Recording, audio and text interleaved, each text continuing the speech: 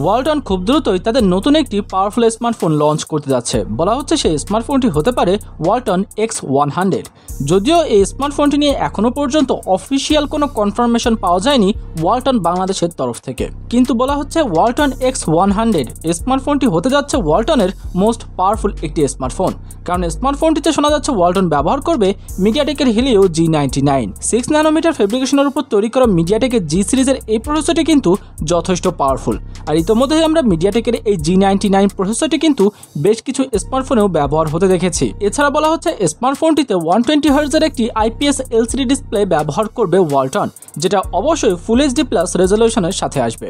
যদিও এখনও পর্যন্ত স্ক্রিন সাইজটা কি হবে সেটা জানা যায়নি। এছাড়া বলা হচ্ছে স্মার্টফোনটি পঞ্চাশ মেগাপিক্সেলের মেইন শুটারের সাথে লঞ্চ করতে পারে ওয়ালটন আর ওয়ালটনের এই আপকামিং স্মার্টফোনটিতে নাকি পাঁচ হাজার মিলিয়ন মিলিয়ামপিয়ারের ব্যাটারি ব্যবহার করবে ওয়ালটন যেখানে আঠারো ওয়াটের ফাস্ট চার্জিং সাপোর্টও থাকবে।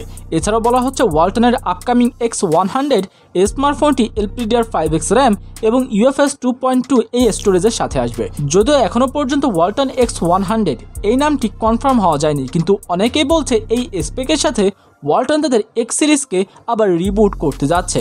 যার প্রথম স্মার্টফোন হবে ওয়ালটন এক্স ওয়ান হান্ড্রেড যেটা খুব দ্রুতই আমরা লঞ্চ হতে দেখতে পারি বাংলাদেশ মার্কেটে তো আপনার মতামত কি? ওয়ালটন এক্স ওয়ান হান্ড্রেড ওয়ালটনের আপকামিং এক্স সিরিজের এই স্মার্টফোনটিকে নিয়ে? যদি এই স্পেকের সাথে ওয়ালটন তাদের এক্স ওয়ান হান্ড্রেড স্মার্টফোনটি লঞ্চ করে, তাহলে সেটা কেমন হবে বলে আপনার মনে হয়? সেটা অবশ্যই আমাদের কমেন্ট বক্সে জানিয়ে দিতে পারেন।